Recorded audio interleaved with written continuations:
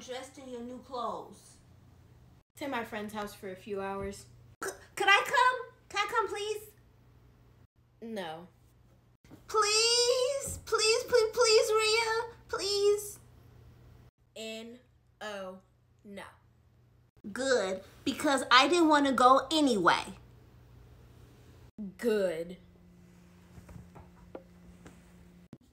Can you pass me a pillow, please?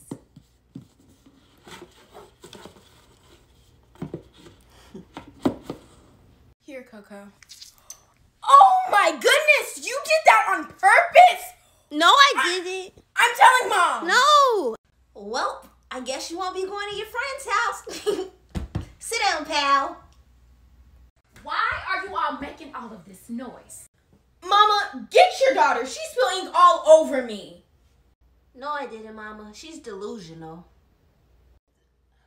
Ria, I don't see anything.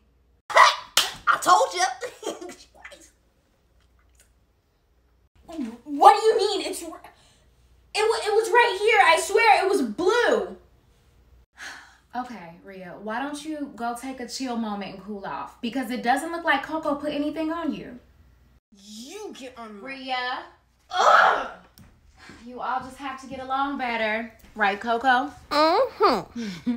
you know, Mama, I don't know why she keep blaming stuff on me. Coco! Mm, What what is that dripping down your arm? Um, it's imaginary. What?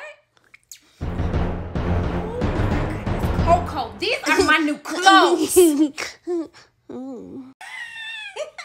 Don't worry, Mama. It's magic.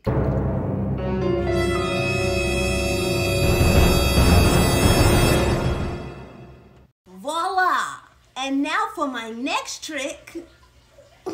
Go apologize to your sister now. Okay. Hey, yo, Riri! Riri!